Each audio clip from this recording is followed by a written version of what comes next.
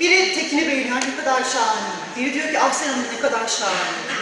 Kocaeli Şehir Tiyatroları'nın deneyimli oyuncuları tiyatro söyleşisi kapsamında İzmit Namık Kemal Anadolu Lisesi öğrencileriyle buluştu. Tiyatro sever öğrencilerin yoğun ilgi gösterdiği söyleşide oldukça neşeli anlar yaşandı. Birazcık yani yapmasam etmesem mi oluyor. Ama bir şekilde su akıyor yatağını buluyor yani.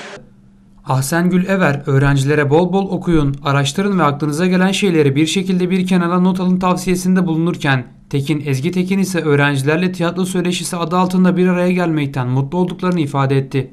oyundan hani çok etkilendim ya da şu rol hani bana çok hani kendine çok bağdaştırdı bir oyun oldu mu? Ben böyle psikolojik derinliği fazla olan oyunları seviyorum. Böyle o- oyunlarda oynamayı seviyorum.